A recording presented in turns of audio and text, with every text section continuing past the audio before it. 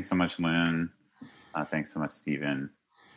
Old Dharma friends, it's really nice to see you and uh, to connect with everyone out there in, um, I guess, sheltering in space. Oh, the video stopped.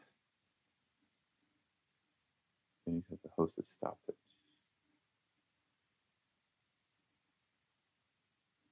Okay. Looks like I'm back. Um, video drop for a second. Let me know if there's if we're good, Stephen. Um, yeah, so it's just wonderful to be here with you all in sheltering in space, as Lynn said, on uh, Facebook Live and wherever you're joining in from Zoom. So, um, as Lynn pointed out, we're going to talk about beyond mindfulness uh, today. It's a little bit of an awkward title because uh, uh, for those of you who are sort of longer term Buddhists, what's really beyond mindfulness, right? From a Buddhist perspective. Uh, for, when we're talking about Buddhist mindfulness, nothing's really beyond that, actually. And I'll talk about that a little bit uh, as far as the, the path goes. Uh, but when we're talking about uh, mindfulness in the popular sense, then yes, like where are we going? What are the steps we're taking in our practice, in our life? Uh, to both sort of honor where we're at and doing the steps that are that are needed and necessary for our mental health uh, and well-being. And then also like uh, where can we play with that edge um, to explore the potential that we have as a human being? And this is really where the buddhist path comes in as a um, you know some will argue the buddhist path is a spiritual path some will argue it's a religion. I don't really get into those arguments so much anymore. I used to uh, but nonetheless, uh, whatever you want to call it is fine from my perspective. But it definitely does have some components that that make up what we would call um, uh, Buddhism. Now, Buddhism not being a monolithic tradition, uh, it being I sometimes use Buddhism as a plural, like the Buddhisms, uh, because uh, we have many different branches of of what um, sort of interpretations and ways of practice of the Buddha's teachings.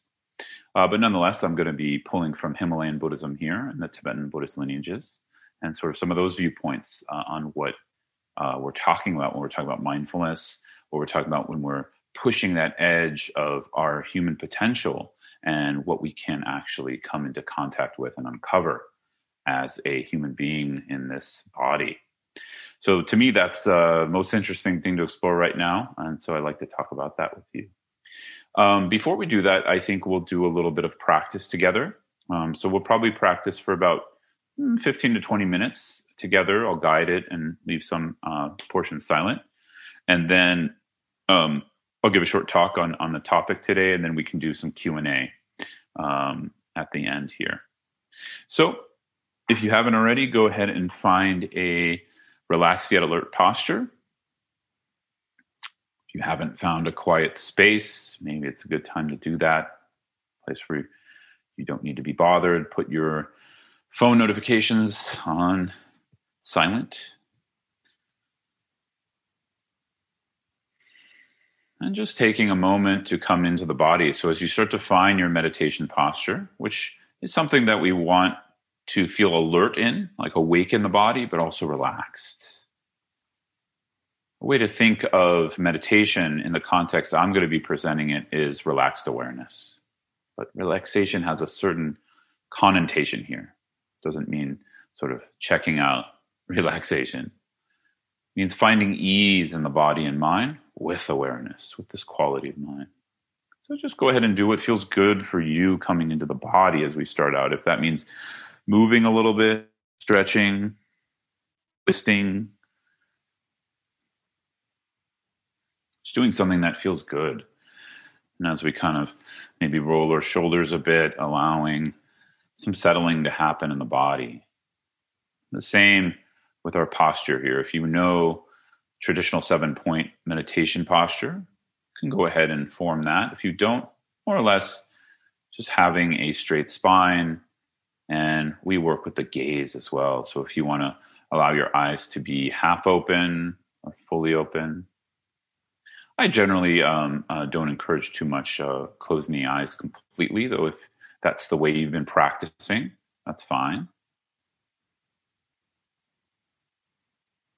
And just simply allowing a sense of connection to our experience right now, if you can do that. And so for some of us, that's challenging. So having some kind of anchor is helpful.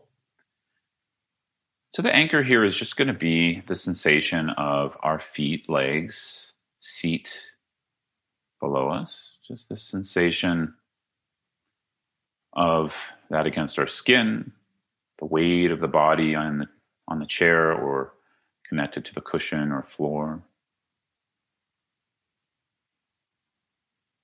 And as you start to attune to that, attuning to the body as a whole. What this means is starting to pay attention to what energies, emotions, sensations are up for you. And for some of us, we don't feel the body often. So don't worry if this, this is slightly disconnected or challenging for you. But just give it a shot. This could be attuning to one part of the foot, toe, leg, seat. Just dropping everything into that and being. Being here means being with the experience, with what's arising.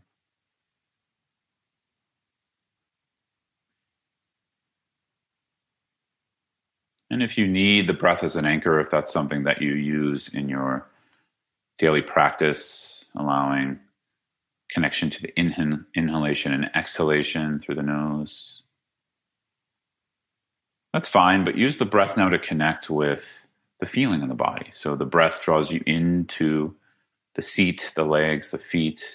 On the inhalation, on the exhalation, allows you to be with the experience. And also now we can start to include our belly, our chest, our head, where a lot of our emotional content arises, in our mid body, in our chest, in our belly. And so the practice here is not to push away our experience, but to allow it to be. And this includes whether we're having a comfortable experience right now or an uncomfortable experience or just something neutral.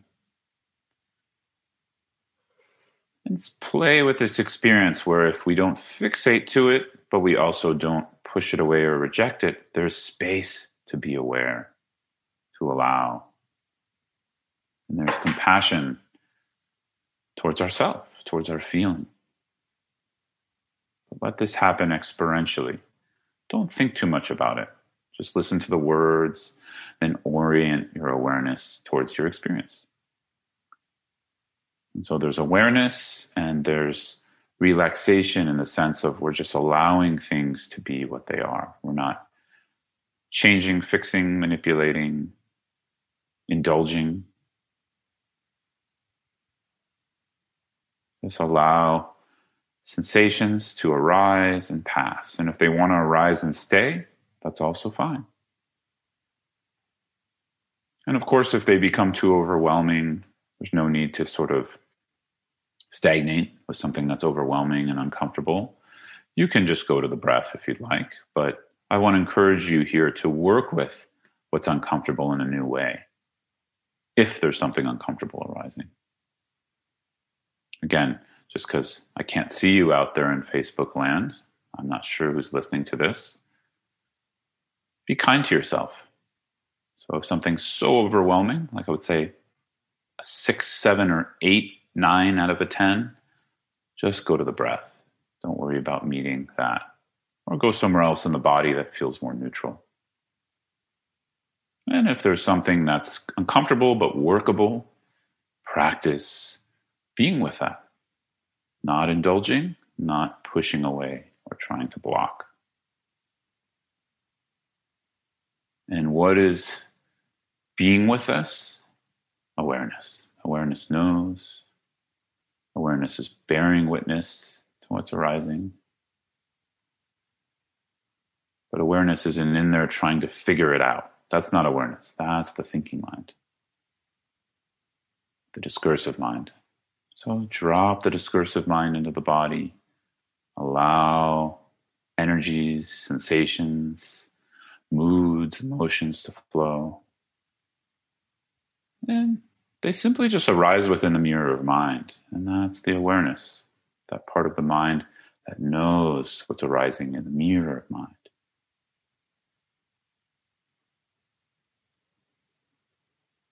And so we'll practice like that for another 10 or 15 minutes, bringing the attention back to this process of bearing witness. If you need the object of the breath to help connect you to that, great. If you don't, just be with the experience, the felt experience.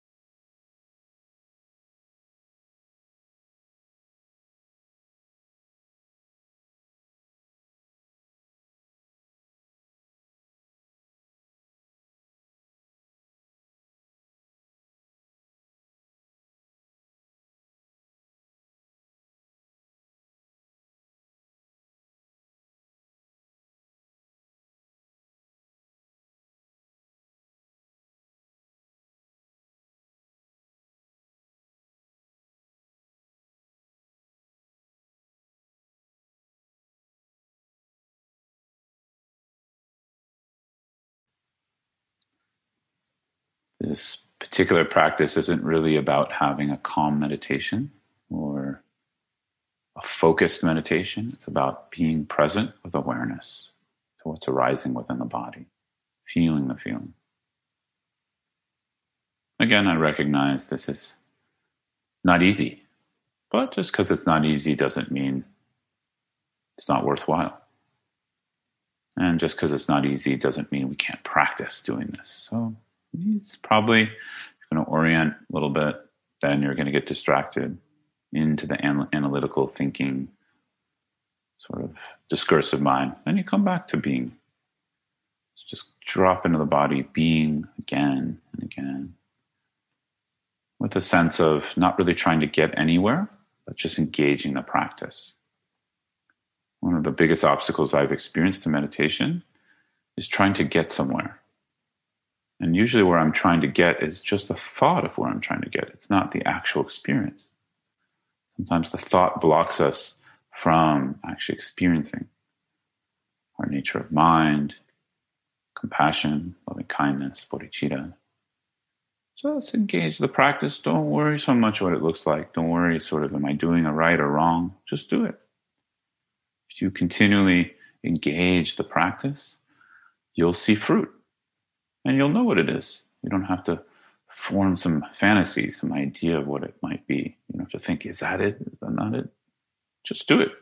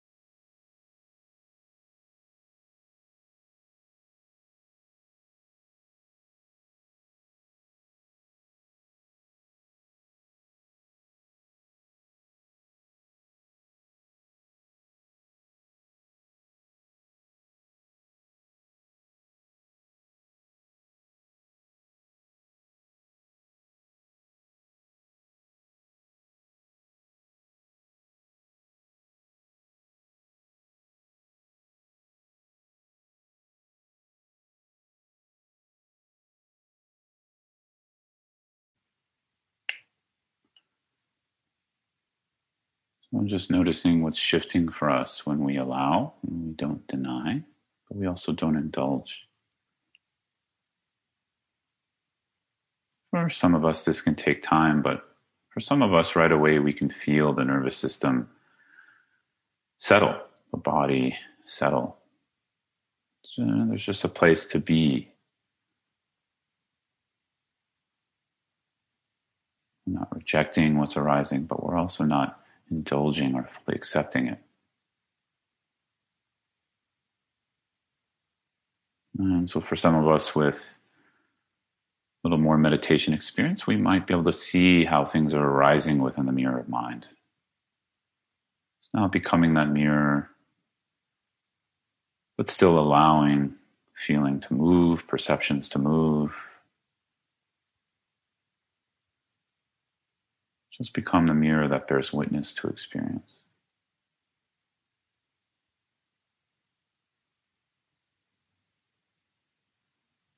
Still, we're not blocking, we're not indulging, we're also not holding on to stillness. But if the mind is naturally still, that's fine. But we're not holding on to stillness and pushing away what's moving within the mind. Just allowing movement, but knowing movement. And the mind simply reflects what's arising.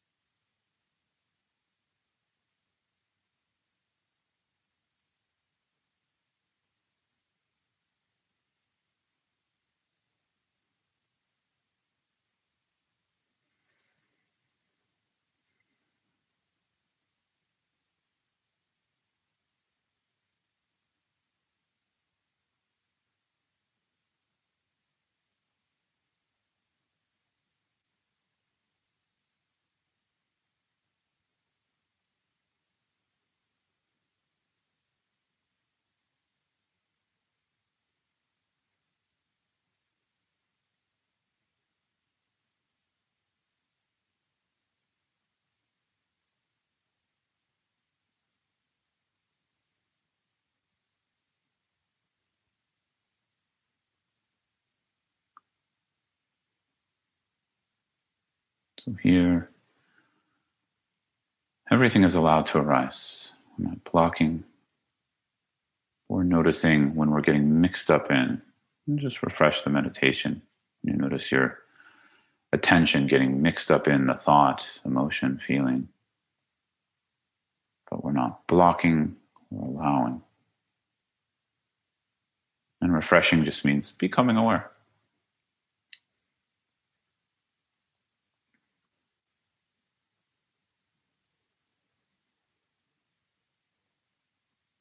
So, what defines meditation from a Buddhist perspective? Awareness. We're just simply clicking back into awareness, this mind that can know itself, this mind that can bear witness, this quality of mind that knows we're knowing, sense of presence,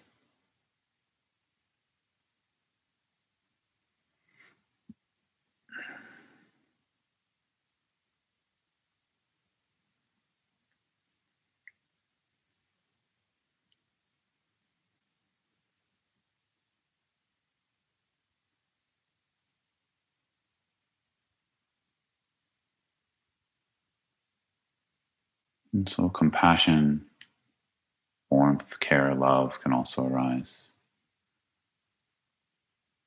What's innate to our potential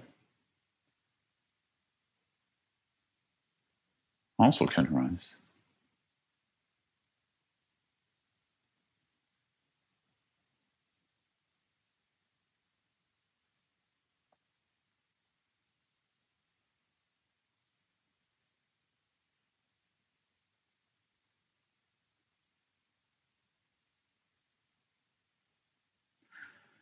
So letting go of the formal meditation, Notice what happens when you sort of relax a little bit more. For some of us, you might actually connect with this meditation when you let go of what you think is formal, but just staying with awareness. So we don't sort of make such a big gap between meditation and post meditation. We just stay aware. Maybe in the post meditation, we train the mind in loving kindness, compassion, bodhicitta,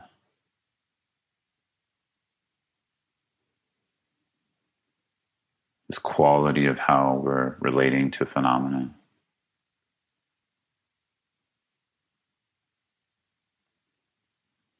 So, if you like, merging awareness with movement, again, moving the body in a way that feels good to you, gently stretching if you like.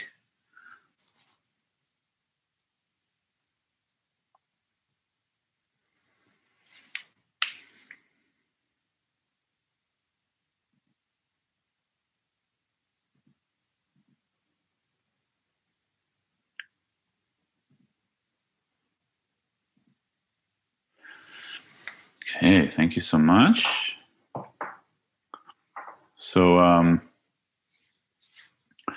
typically, when I give Dharma talks these days, I like to uh, take refuge and generate bodhicitta via sort of chanting it formally and do some other lineage supplications. So, uh, you can join me if you have a Buddhist practice. If you don't, uh, the idea here is we're just connecting with our innate potential for awakening.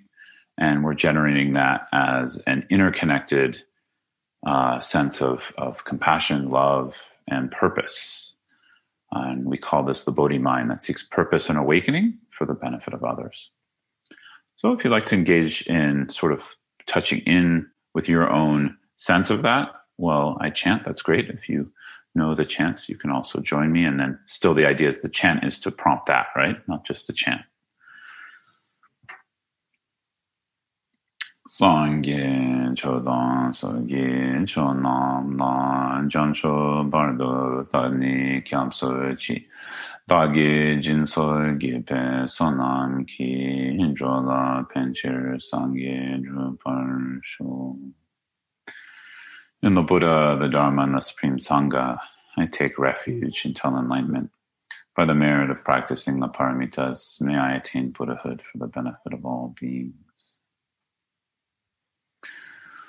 오멘 저기 인게 보담네 또 삼상계 공인 원이 좀 저거 좀 전자에 파 상외 남에 잠바 소외 하는 상외 남아는 보시 나게 저걸 때문에 텐션 저만만 보라다 봐 그냥 고선 저기 뭐로 상도 소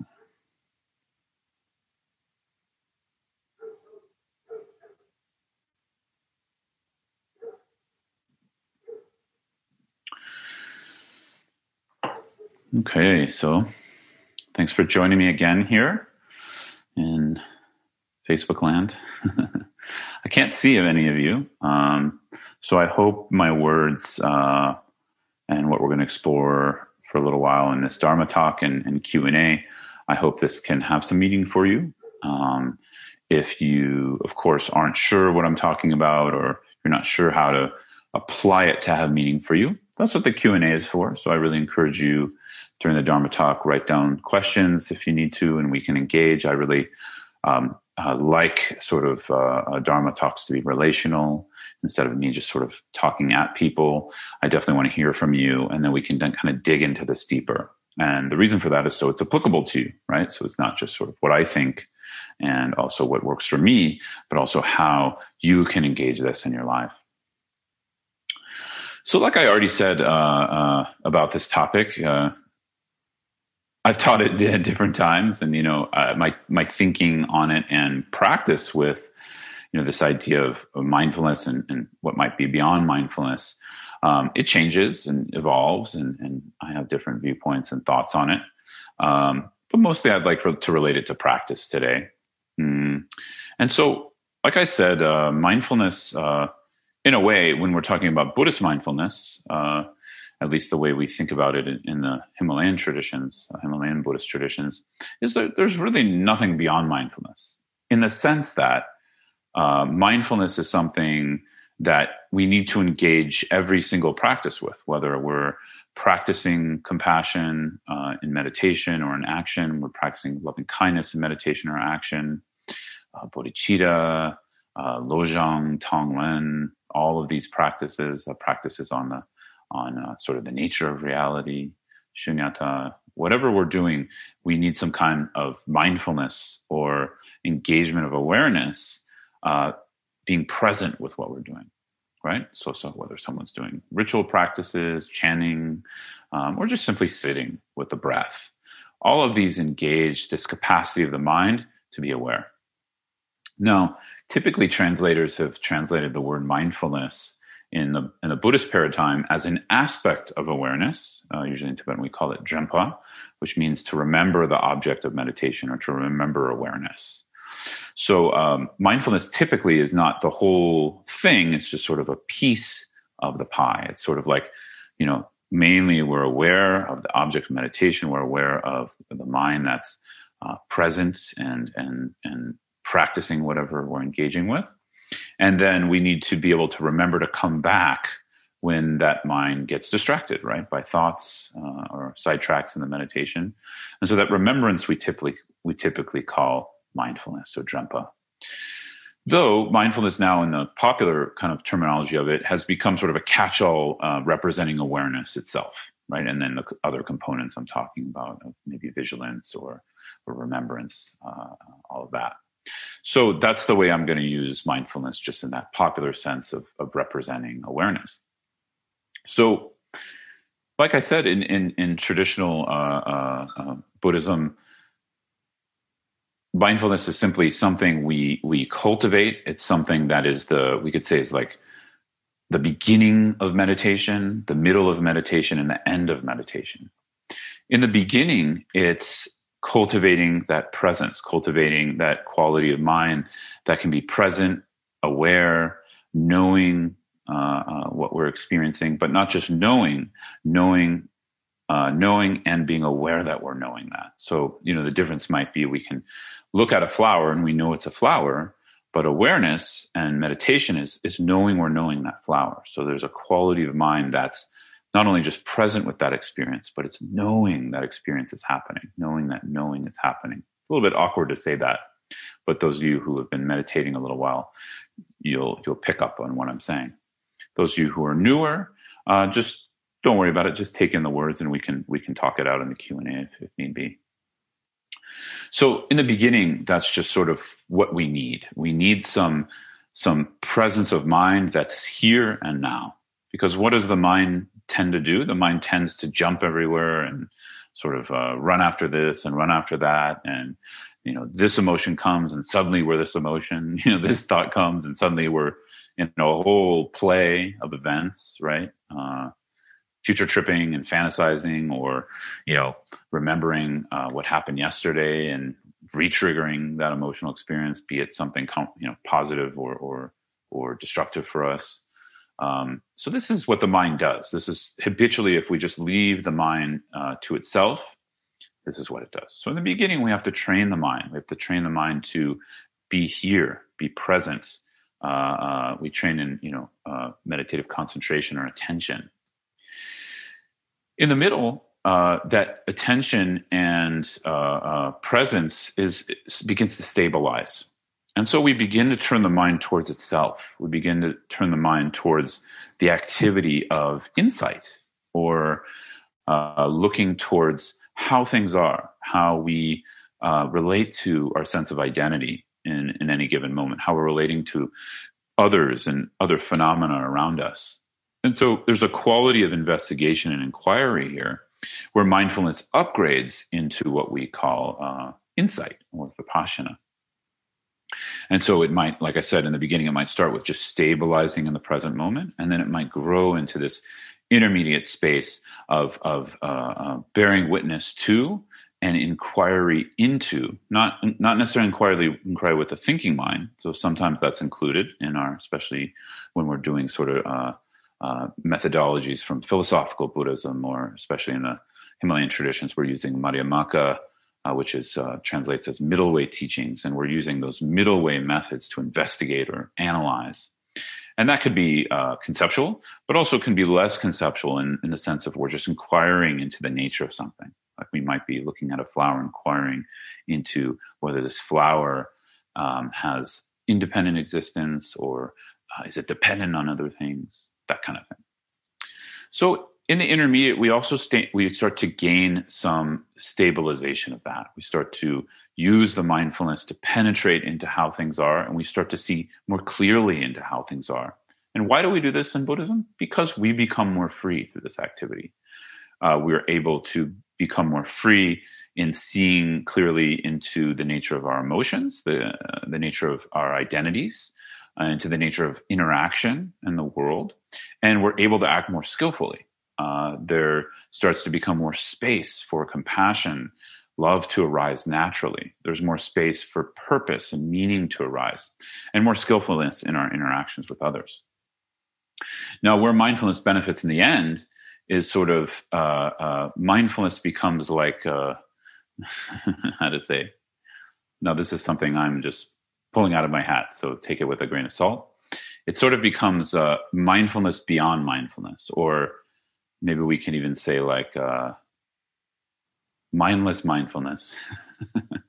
I just made that up, so don't again just take it with a grain of salt. I'll explain what I mean.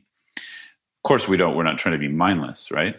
But this sense that when we when we penetrate more into how things are, we're able to simply be in flow with how things are uh, on a relative level, and that unifies with how things are ultimately existing or functioning. And these two kind of come together as a unity. This is really uh, the, what we're looking to do through the Buddhist path. And then from there, there's there's sort of a quality of of inner space and freedom that can interact with the world that doesn't deny what's arising in ourselves and others, but it's also not bound by it or or fixed or or changed by it. Simply can flow and interact in a more healthy, holistic way. And so, in this way, there's this kind of sense of of uh, there's no more holding on to mindfulness as this thing. The mindfulness has become perfected in this sense where we're simply just experiencing reality as it is.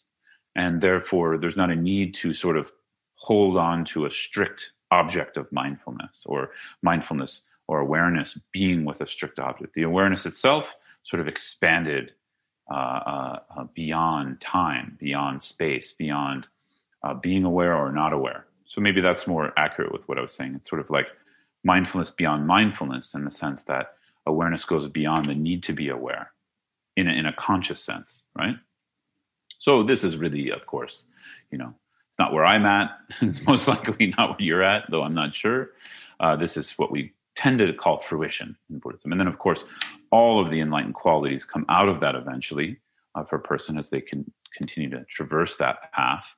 And, and this is and this moves on into buddhahood which i'm not going to talk about so much today but this has certain qualities and you know what what, what was abandoned through that experience or realization and then the qualities that come out of that realization. So this is what we would call kind of the the, the final the, the end you know? Sometimes we refer to it as the the 10th bhumi or beyond the 10th bhumi or we refer to it as buddhahood or awakening or uh, fruition right? So anyways, just giving some context, yeah? So, where are we? We're mostly in the first one, right? Most of us, my, myself included, right? We're we're still working with this basic mindfulness of training the mind to be here, to to sort of not to to not launch into every fantasy, to notice when fantasy is arising, recognize it, and also to train the mind to just sort of be stable. Now, this is where I think uh, I want to focus in, in the topic today a little bit more. So now, why, what we're doing that for, how we're using that matters, right? And so this is more this subject of beyond mindfulness I wanted to talk about. Of course, we have the beyond mindfulness, which is the fruition I just mentioned. But more the beyond mindfulness I want to talk about is sort of this uh, mindfulness that um, we can take as a stepping stone, meaning like we might have um, a lot of emotional problems or anxiety problems and stress. And we take up meditation to relieve that stress, to relieve that anxiety. Now, there's nothing wrong with that. This is sort of, um, I don't know if there's, for, for, you know, some of us, I don't know if there's another way. We just have to start where we are.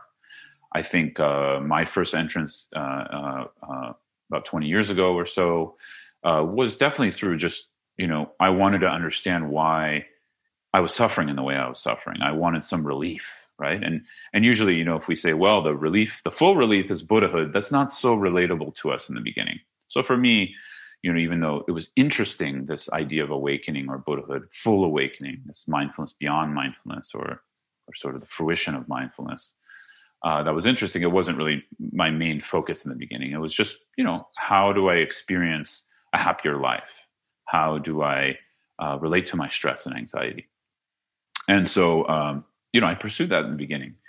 And luckily, you know, I did encounter some Buddhist teachings that offered sort of other potentials um, for what we can use our meditation for. And so um, that's what I want to focus on today. So this is a fine starting place. But at a certain point, you know, we reach uh, uh, a plateau where that mindfulness is maybe we're better able to manage our emotions or, or work with them. We're better able to manage our anxiety um, may, you know, hopefully we're becoming a kinder, gent- gentler uh, person uh, because of our mindfulness practice. And yet, we kind of have this sense, this kind of suspicion mm, is this it? right?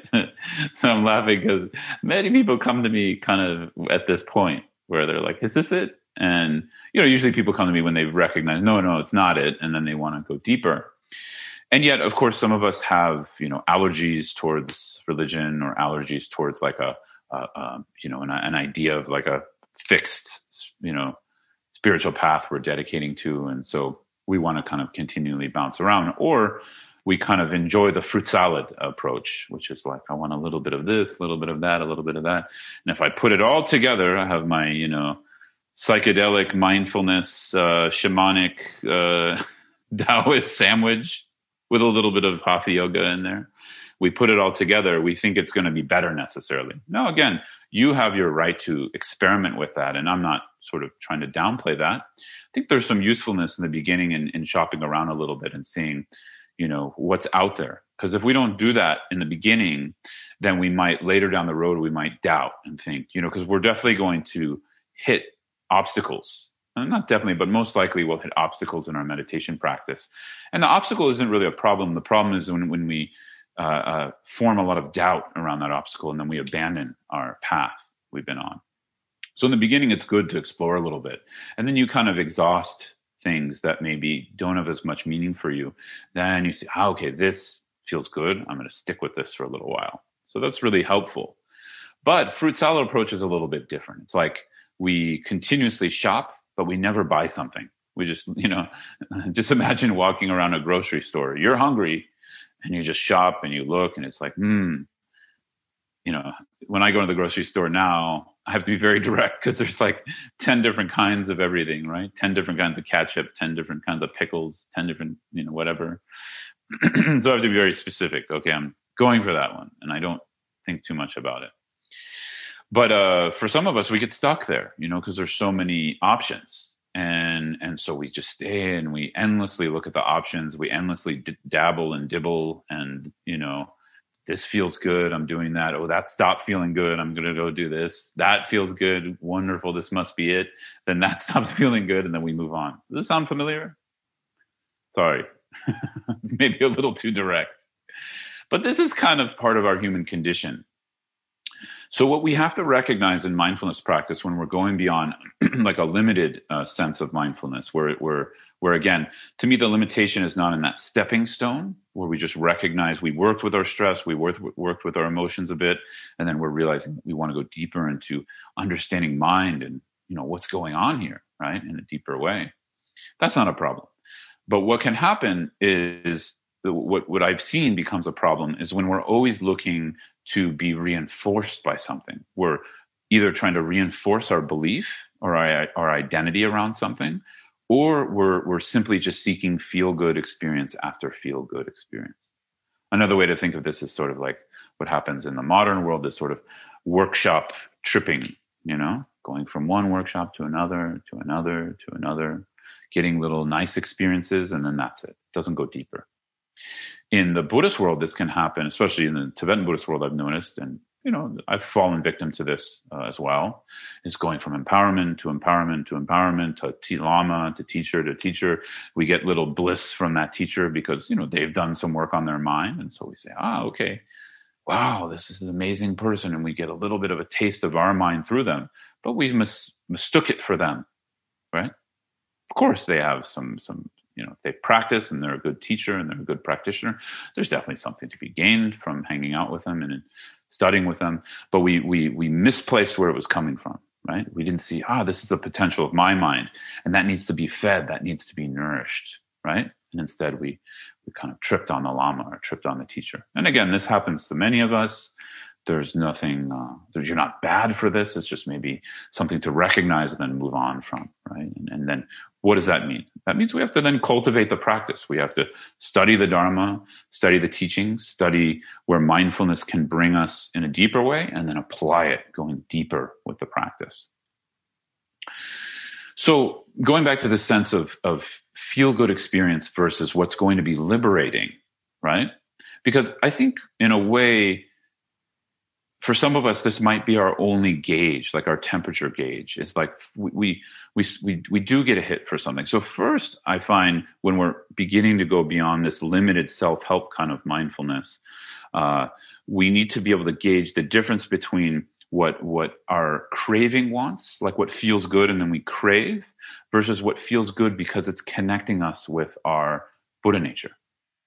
So Buddha nature is a quality uh, that is not born it doesn't die. Uh, it's not physical or material.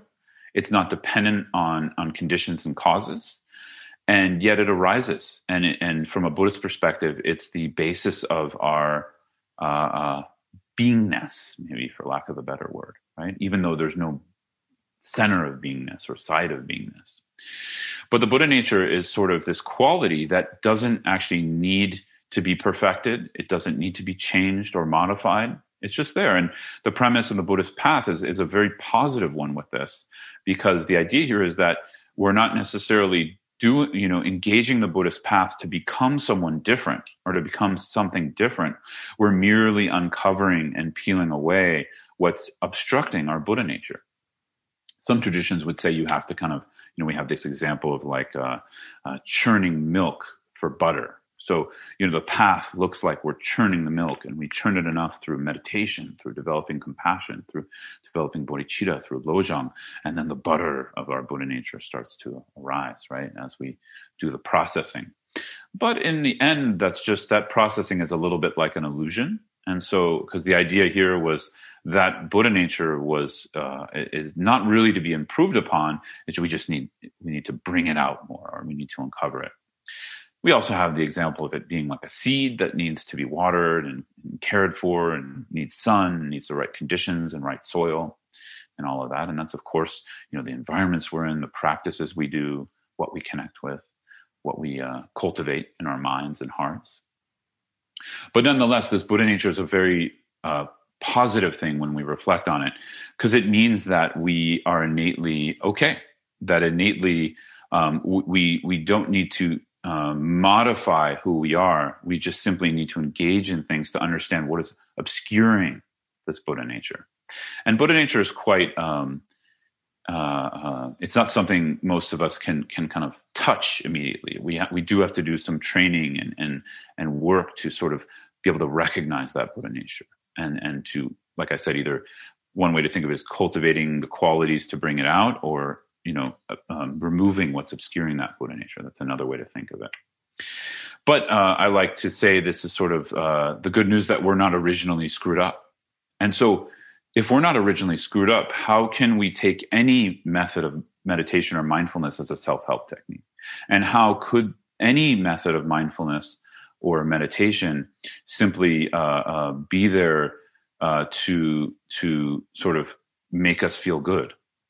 Right? Now, we could even say, like, feeling good or bad, this is really uh, uh, uh, not the counterproductive, but it's like it's really uh, um, antithetical, maybe is the word antithetical to the essence of this Buddha nature. It's like the Buddha nature itself doesn't need to feel good or bad. It just is already okay. And so this kind of okayness is a little bit hard to explain, and it's not necessarily. Uh, um, it's hard to explain because it's beyond words. It's beyond concept, but it's an okayness that actually goes beyond uh, okay or not okay. It's an okayness that goes beyond feeling good or feeling bad. So now, hopefully, we're getting the picture a little bit. So when we're simply seeking a feel good experience after a feel good experience for meditation, then it's going to limit us in in contacting or uncovering that Buddha nature. So in the beginning, I think of, of one's Buddhist path, when once one's interested in going deeper through the methodologies of Buddhism uh, and Mahayana Buddhism in particular, it's really good to study Buddha nature a little bit and reflect on it because this brings a lot of positivity in our life. So, you know, rather than this understanding that we're a screwed up person trying to become better, where then we're fighting and, you know, struggling, we recognize, oh, okay, something that I can't see right now necessarily, but's there is completely okay and natural and sort of already awake in a way. You know, though, though again, that's contentious. That's debated in, in different schools of Buddhism, whether it's awake or whether it has to be cultivated, like a seed to be cultivated. But nonetheless, the whole idea here is there's the the potential is there, and if the potential wasn't there, then there wouldn't be any point to anything. So, in a way, this is what brings meaningfulness and purpose, because that Buddha nature is also connected to the Buddha nature of all beings. It's an interconnected space. It's not the same thing, but it's also not different.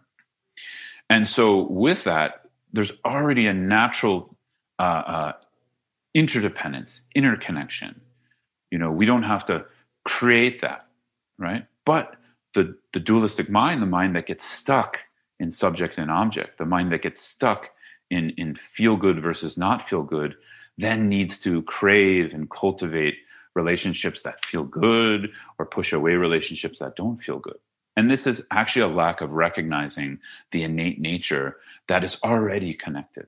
So again, this is some kind of more advanced concepts, but nonetheless, this, when we talk about it and when we're kind of challenging ourselves to think about it differently like this, and maybe we have to do some more studying kind of access some of these things, nonetheless, it points our meditation in a different way. Even if we're a beginner, even if we don't understand half of what I'm saying, it's totally fine just hearing these things, just reflecting on them a little bit, will point our meditation towards a, a, a, more liberative practice as opposed to a limited practice. And again, what I'm defining as limited is simply seeking one feel good experience after another. Then we're just meditating out of craving and aversion. We're trying to block what doesn't feel good. We're trying to bring in what feels good. And we never contact what is innately good. So there's nothing wrong with you if this if this is resonating. You're like, damn, this has been this has been happening. I, you, you something resonates, and you're hearing some struggles in your practice, and now maybe it's clicking why those struggles are happening. There's nothing wrong with you for that. Like this isn't an admonishment, or I'm not pointing out like someone's a good meditator or a bad meditator. This happens to all of us. This is part of the overlay of our habitual confusion. And this is why we have the Dharma in scripture in realization. This is why we have teachings and methodologies. So we can explore this as human beings together. This is the whole reason I'm saying it. I'm saying it because I'm still very much working on this, right? Um, and so I'm sure you are too. And so we could talk about it with each other. We can engage in a conversation uh, that's not about like whether something's better or worse. It's just, you know, uh, uh, what is going to work for for certain outcomes and what are what are going to work for other outcomes right so to me it would be incredibly depressing if the buddhist path was only about feeling good because that feeling good ends sort of like i've never i don't know about you i've never had an experience where something feels good and lasts right it, it, it changes it's impermanent now, again, in the other side, I haven't had an experience where I feel bad or or or or um, uh, afflicted, and that lasts. That also changes. So there's good news too. The afflictions, what feels uncomfortable also changes. But what feels comfortable changes. So if we're always trying to push out what's uncomfortable and we're always trying to bring in what's comfortable, it's very limited because it's changing. So we're trying to go uh, through meditation, through mindfulness in Buddhism, we're trying to go to underneath, to the underlying nature, right? Uh, what we could say our, our Buddha nature, and there's many other ways to put this, just putting it this way today. So, in a way, once we recognize this, like if this resonates, then we go through the process of cultivating this. And this is not an easy cultivation in the sense that, like, there's still doubt, there's still confusion. But the path is to work through that confusion. So the path is not to be perfect, perfect. The path is not to know already. If we knew already, we wouldn't need a path. You wouldn't need a teacher. You wouldn't need a Dharma text. Uh, you wouldn't need any of that. We wouldn't need symbols of, of Dharma. Now, this is some people might not like what I'm saying, but just think about it why do we have these things? We have these things. Wonder, you know, it's wonderful we have them. We still live in a world where representations of of uh, awakening and compassion and bodhicitta still exist. I'm not demeaning that. What I'm saying is, uh, uh, we need those. They're there to point us towards our nature, to point us towards our Buddha nature. And so, if we use them uh, for that, if we engage them with that in an interconnected space of wanting to serve all beings through that, uh, our own liberation and awakening, wanting to serve others through our awakening, then this is what becomes authentically part of uh, uh, the Buddhist path, right? Now, again, it's also authentic uh, just to struggle and, and work with a basic mindfulness, right? The Buddha also, you know, started with some some basic practices, but eventually uh, we we mature in those practices, and it has to upgrade, right? It has to go beyond a feel good practice or you know feeling good or feeling bad from practice going beyond that. So like i was saying um, this is a process. This isn't something that we're going to be necessarily good at right away. It's not going to be perfect.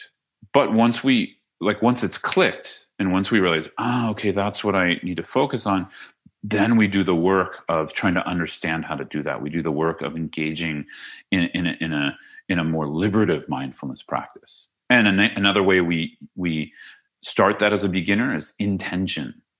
Intention is like you could almost say like most the majority of the Buddhist path is also intention, mindfulness and intention. Where we're aiming the practice, where we're aiming the mind, where we're aiming uh, what we're using our life for. So the best intention from a Mahayana perspective is bodhicitta. Lama Zopa Rinpoche, you know, the founder of the FPMT, one of the founders, uh, one of my mentors, oh, always says, live with bodhicitta, die with bodhicitta, meaning do every activity with this mind of bodhicitta. So when we're not in the meditation session, in the post meditation, we reflect on bodhicitta. I'm walking for the benefit of all beings. I'm eating for the benefit of all beings. Through clearing this path, may I attain awakening for the benefit of all beings. Through minding my behavior, you know, you know, when I'm driving, being careful with others, may, may I attain awakening for the benefit of all beings. So engaging the mind in virtue with a purpose, right? Engaging the mind in virtue with this purpose that I want to attain awakening. Now, this might sound silly because it's just sort of like an affirmation, but it works because it trains the mind and it conditions us towards something that is eventually going to be unconditioned. so again, a little bit of deep end Buddhism there, but nonetheless, like you know, we can't just jump to the unconditioned, this final mindfulness I was talking about. You know, most of us need a, a progressive path where we have to use uh, um, positive conditions to ripen us going towards the unconditioned. So, anyways, that's uh, all I really wanted to share today. I hope this was useful. Um, right now, we can open it up to Q and A. I hope you've already been typing in your questions or you have your questions. Um, really, if like uh, um, kind of sad if people you know you don't want to engage. I, I, get it if some people just don't have any questions but really just meaning sad in the sense like um, we don't get to go deeper into this topic. And i want to hear from you. I want to hear um, what you're struggling with and maybe what i said or what really sparked for you or um, questions like i don't understand that. And this is how we go deeper into the dharma together uh, as a sangha. Uh, so so even if you think it's kind of like a stupid question or you think you already know, just ask it anyways, right? It can give us something to dialogue. And it also might really help others. So we can also think like that. Even though maybe you know the answer, just throw it out there and then it'll help others. So um Stephen, Lynn, I think we can yeah. do that now, yeah. Yeah, thank you so much, uh, uh, Scott. This this was really engaging, and there was a lot to to touch upon. So, as as Scott said, we really do welcome your questions. Uh, you can put them in the comments section below in the Facebook feed. You can also send them privately to Tse Chen Ling's Facebook inbox, and we'll share these with Scott. But um, we're just really glad to have you back, um, Scott. So we'll give everybody some time to maybe gather those questions. We have a few to start off with. And um, in the meantime, I'll let everybody know about some upcoming programs. As Lynn said, Taste of Buddhism is every Sunday at Tse Chen Ling. We offer that for free on Facebook with a, a number of different teachers and facilitators um, to give the breadth um, of experience um, of the, the living experience of Buddhism and in particular Tibetan Buddhism. So we really hope you come back to to us each Sunday for that. Next week we have Venerable Amy Miller, and the week after that we have Venerable Gyalten Lekden. Um, so we're really glad to have this engaging program. Uh, coming up this week, we also have a another major live stream with um, Professor James Apple, one of the world's um, leading um, experts in the field of study of the thought and life of uh, Atisha Dipankara, a Lama from India who left an indelible and pervasive um, uh, influence on Tibetan Buddhism. Uh, so on Friday, August 28th, he'll be doing a live stream talking about the life and thought of Atisha and the contributions he made. We have a number of upcoming uh, live streams and programs as well. We have online retreats, uh, one in particular on Green Tara with Venerable Robina Courtin coming up. Um, and then in September, we have on September 19th, Vicki McKenzie, a noted author talking about the revolutionary lives of two amazing Buddhist nuns uh, Freda Bedi and Jetsunma Tenzin Palmo. So please check out tsechenling.org for all of our information about programs. And also um, check out our Facebook um, and LinkedIn. We have a number of uh, social media channels where you can find out information. There's a YouTube channel as well where a number of these uh, video offerings are archived.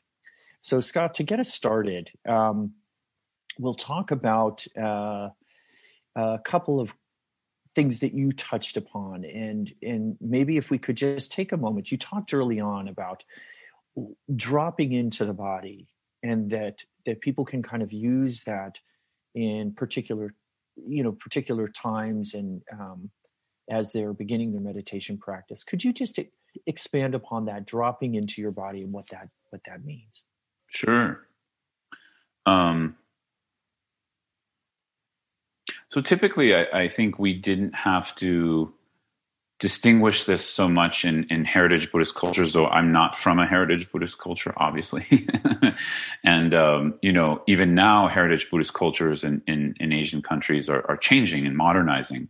But typically, like in a pre modern heritage Buddhist culture, um, from what I've heard from from my uh, uh, from heritage Buddhists that I study with as well as friends, is that there there was already this link between body and mind. That, that link wasn't broken; it was sort of there. So when the when the when the lama or teacher or someone read a sutra or the Buddha says, you know, sit and be mindful, it's not a mindfulness that's cut off from the body.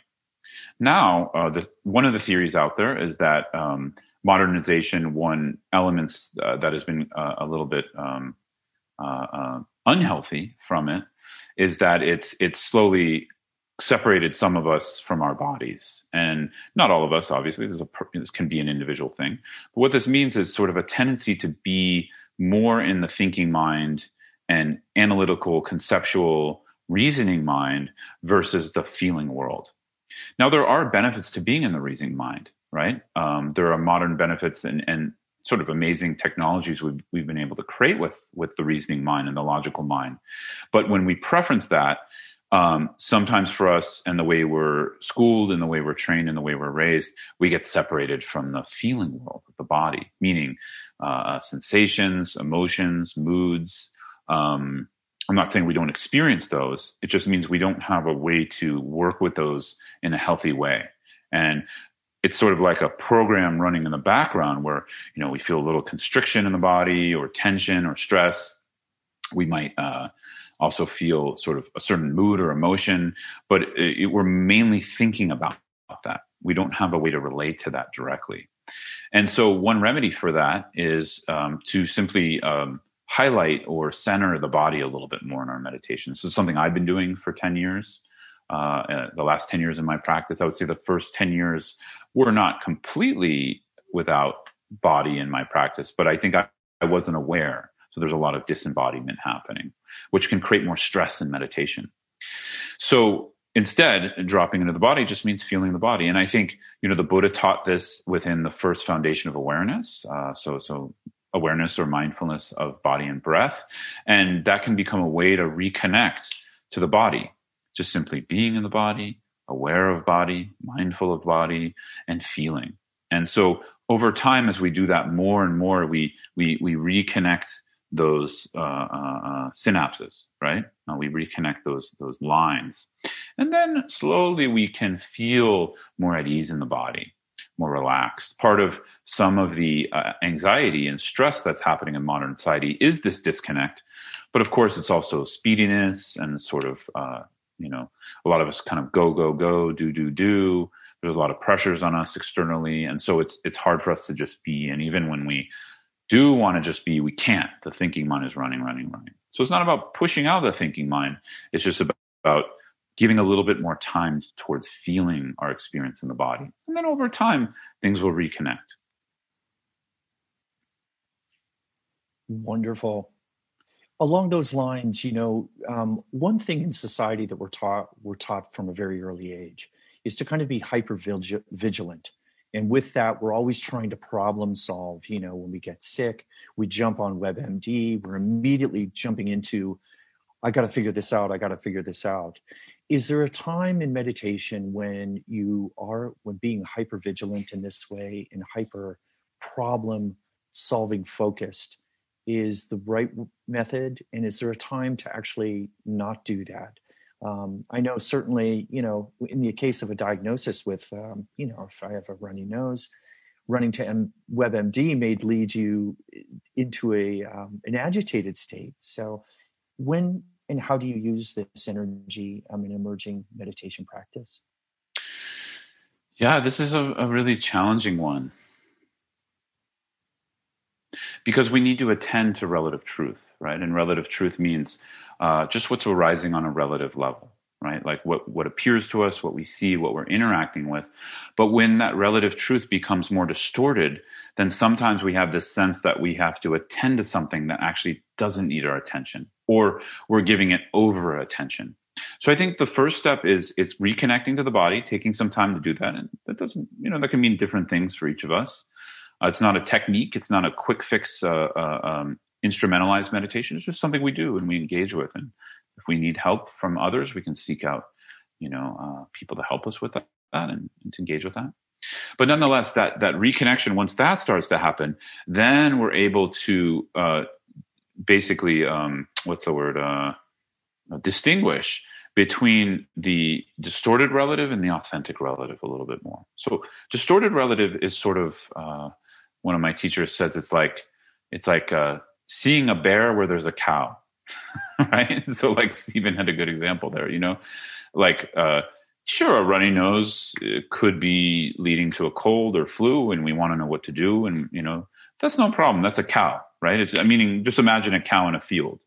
I mean i'm using that as an analogy where it's like yeah there's a there's a thing arising it's not nothing you know a cold a flu is something we want to remedy but yet if if if it became this this if it became distorted through the the body uh, being agitated and extra stressed and nervous and that being accumulated over many years it the that flu that cold which is you know normal and natural to the body becomes a bear right? In the sense like a threat. That's the key word here. A cow generally for most of us is probably not so much of a threat. Maybe if you're like you know underneath it, it's a little bit of a threat if it steps on you, but you know, we're talking at a distance. Or if you see a bear at a distance, it's a threat, right? There's, you know, I got to be careful here, right? This could get tricky and hairy and life threatening. So I think that's how. So we begin to distinguish relative, authentic relative from distorted. Distorted would be there's no bear, but we think there's a bear, right?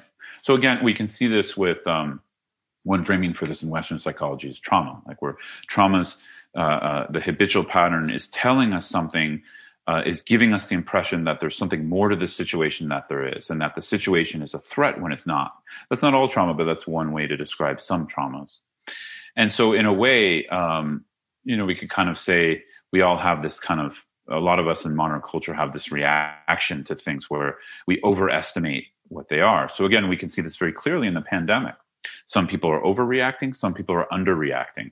Both are not really relating to the relative in an authentic way, which is there is something happening. There is a coronavirus, uh, most likely. like I have friends who want to debate me on that. I think there is. There's some physical thing happening, right? And so we need to take care. There's certain actions we can take, and we don't know ultimately what to do. It's a it's a new disease to to man, to to women, to humans. Um, and so we don't know exactly what to do, but we're trying. And and so I think it's the the relative authentic is you know doing what we know is going to help with this, but then being careful not to go into these extremes because that's coming from the distortion. But we each have to recognize our own distortion. One of the distortions is when we feel the need to scream at others and rage on others of what their distortion is. That's a little bit. Mm, I'm not sure if that's going to work as a as a relational technique, or a social technique, or a communal technique. You know, uh, I think where I tend to focus is is we we need the tools to to work with uh, what's arising, and then to treat that as a process. So the last thing I wanted to say around this is instrumentalized meditation is wonderful as a first step to get in the door of mindfulness and awareness and, and, these practices. But it can, if we keep going with instrumentalized meditation, it can kind of turn into this inauthentic relative in the sense, or, or this sort of relative that's distorted, right? Uh, where where we're always trying to pro- fix the problem, and we're trying to use a relative means to ultimately fix a relative problem. Does that make sense? So it's like the relative can't function as an ultimate. It's just a relative thing that changes and you know modifies and can temporarily uh, change the circumstance of something, but won't ultimately change it. So another way one of my lamas says this is it's sort of like um, uh, uh, if, if we're stuck in a problem solution paradigm, the solution is going to always lead to another problem. So eventually we have to look and be skillful of, of, of well, is there something outside of this problem solution paradigm? And and um, from a Buddhist perspective, uh, uh, some of us feel the Buddha did discover that that there is some uh, methodologies and path and process towards going beyond the problem and solution. That's what I was talking about uh, related to our Buddha nature. Wonderful, Scott. Thank you so much. Um, along those lines, we have a question from Facebook. What is a good, specific, simple way to move from a secular mindfulness practice into a deeper practice? What would you recommend? Yeah. There's a lot of different ways, so I don't want to kind of like be too particular because it's it can be personal how we move and it can be personal depending on like what our proclivities are and what uh, basically I would say like I usually ask people I used to ask mentees, like who I work with, like students I work with privately, I used to say, so on a scale from one to 10, what's your allergy towards religion? And it was sort of a joke, but it would kind of give me also a view of, of what I'm working with, uh, with someone.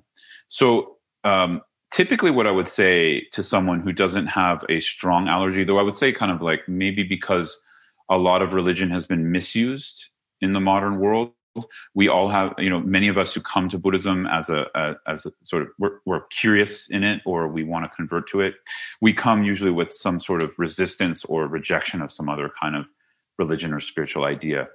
And this we do i, I you know i'm just as an invitation i think eventually we we, we will need to work with that um, uh, trauma like that sense of you know uh, rejection coming from you know a little bit of a wound. So it doesn't mean like we're bad because of that wound or it's our fault. It just means it's something to work with.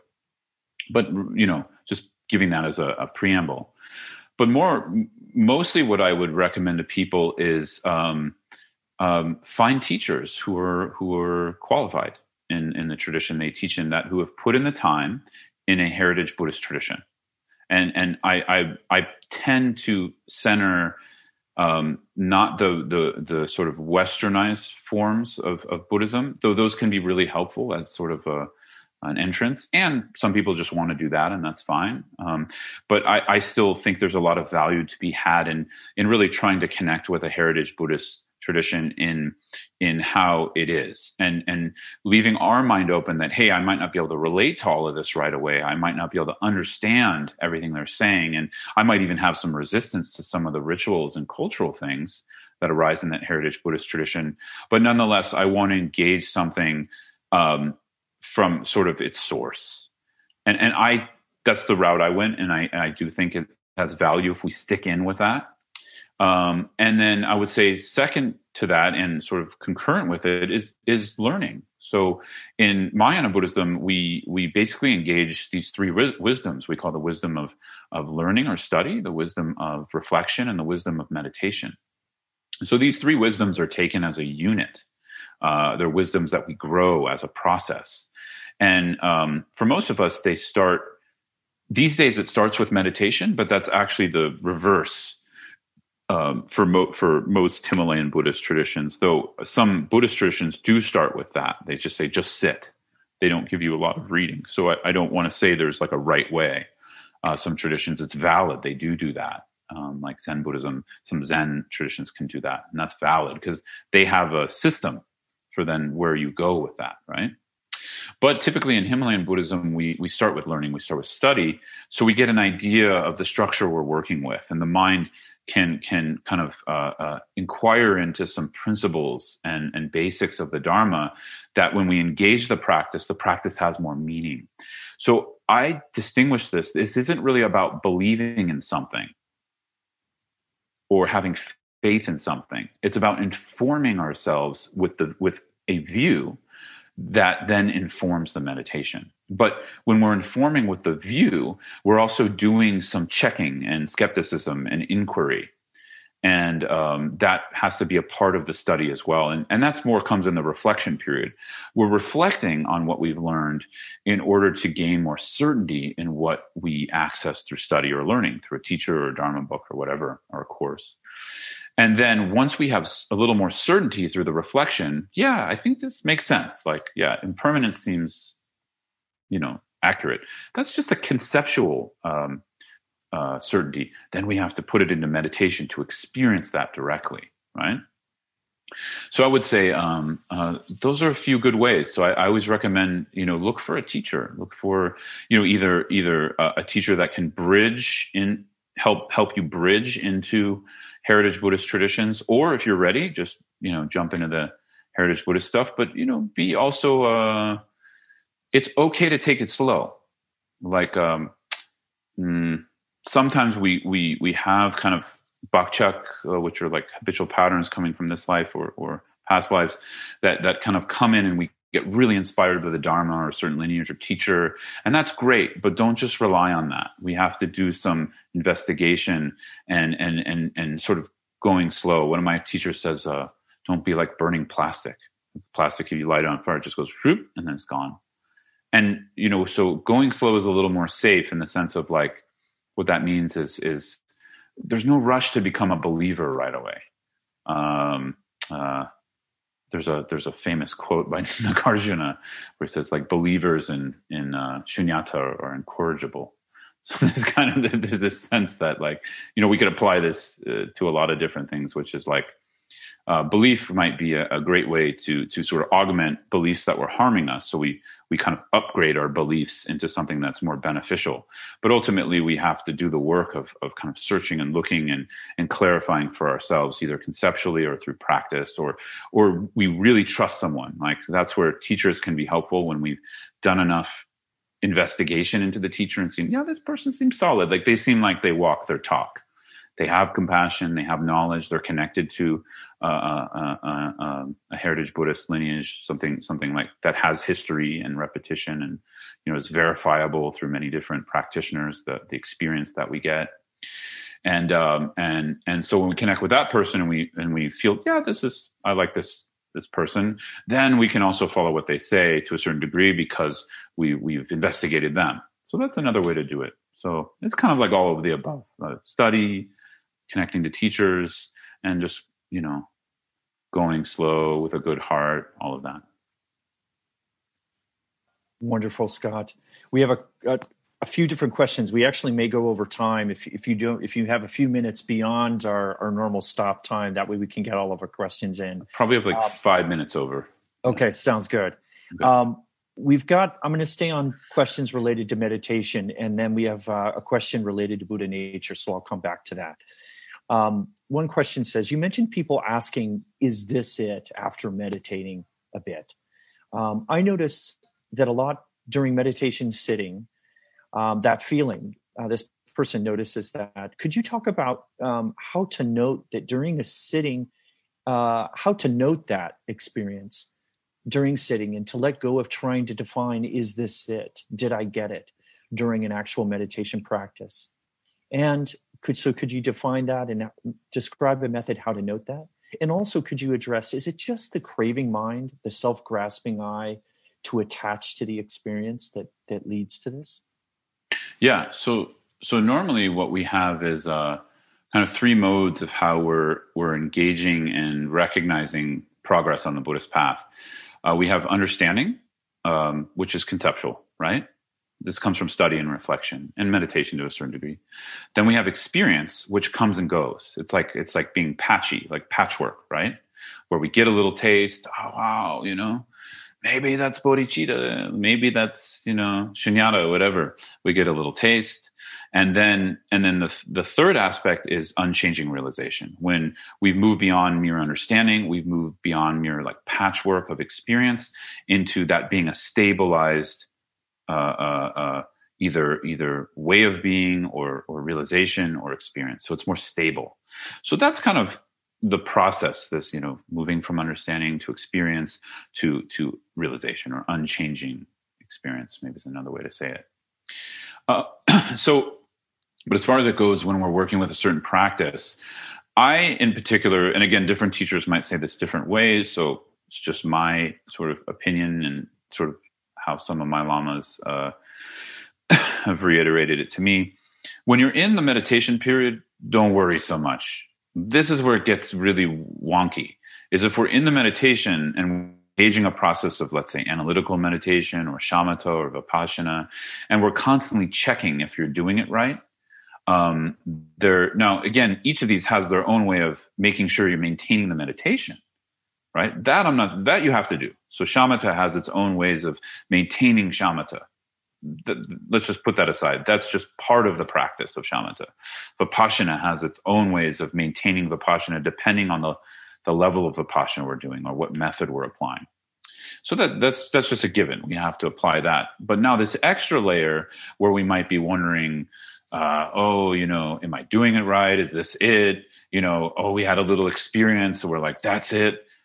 That I think, don't worry. Just just don't let that let the experience come. Let it go. Don't try to analyze your your your your experience so much within the practice. Just engage the process of what you're working with whether you're training in in bodhicitta relative bodhicitta ultimate bodhicitta lojong shamatha whatever whatever you're training in just engage the practice. Now post meditation depending on the meditation uh, we're doing we can see the result we can see sort of how the mind is, right? So, of course, shamatha, for instance, has like nine stages of calm abiding in the, in the Sutrayana vehicle. Um, and so we can check how is the mind abiding. And We can see, and that's fine, you know, but, you know, I don't think it's that healthy to check all the time because that's a little bit like you mentioned craving. I think we have to look there too. Like, what are we, you know, we have to be able to relax into the practice and just kind of show up and continue to to grow the capacity over time. I like uh, His Holiness Dalai Lama's sense of this when it comes to uh, bodhicitta, which he says, you know, or when it comes to awakening, he says, no matter if it happens this life or in, you know, 100,000 lives, I'm just in this. I'm, you know, I'm paraphrasing now, but he kind of was kind of saying like that. I'm just, I'm just doing this. And so it's okay. So we kind of like, we have vigilance, but we also can kind of relax into that. And so, um, in a way, there's there's uh, supposedly bodhisattvas who who make a pledge not to attain awakening. They kind of stay at the the, the ninth bhumi or tenth bhumi right before awakening, and uh, between the eighth and the tenth bhumis uh, levels be, before Buddhahood. You know, and actually, the the kind of the irony here is they they they pledge that with a lot of compassion because they want to kind of remain in a certain way to benefit beings. And and yet they attain awakening the quickest you know because they kind of let like let go of this per this ego identity that is going to awaken. So there is some benefit to that. But nonetheless it is good to like see am i becoming more compassionate? Am i becoming uh, uh, uh, more free uh, with with with how i'm relating to emotions and thoughts? Am i still fixed by them or caught or am I caught up in them and you know tossed around by them. So that is good to check, uh, but don't check too often. Just you know, and I don't have a you know formula for that. You just have to see. Wonderful, Scott. Uh, along those lines, in terms of of staying on the meditation cushion, we have a question. Um, the person writes, "I have trouble being able to stay with what's arising." Without following the thoughts or just moving from the feelings, thoughts themselves. Can you talk a bit more on that? Yeah, the practice I found really helpful for this is just doing the practice we started with. Don't try to don't try to control the experience. Don't even try to meditate necessarily. Just be aware of the body and feel the body. And then allow. So that means like if something comfortable is there, great. If something uncomfortable is there, we, we, we try to sit with that with compassion, right? We're not indulging in it. We're not just gritting our teeth through it. We're, we're, we're allowing. So there's this element of, of developing this sense of being with what's arising in the body in ourself and that usually really helps because um, you know often we're trying to to control the meditation through the thinking mind when actually it's it's the body that's unsettled and the body needs to settle so in a way, it's like uh, um, when we define shamatha, for instance, it, one translation is calm abiding. So the result, the goal is not calmness, but we need calmness and relaxation to, to, to be a container to sustain mindful awareness. And if everything's all agitated, then it just becomes that much more difficult. Uh, so for me personally, like, like uh, what's the word? Trying to wrestle the the the the agitation into submission didn't work. It just created more agitation. So for me, I had to learn to relax, and I'm I'm still doing that. Right? I don't definitely don't have like shamatha stabilization. Still working on it, but uh, that really helped me. And and so I think just going to the body, learning to relax, um, but with awareness will help. Wonderful, Scott. And lastly, um, uh, the questioner writes, "How do you cultivate your Buddha nature during meditation and that's how it's asked.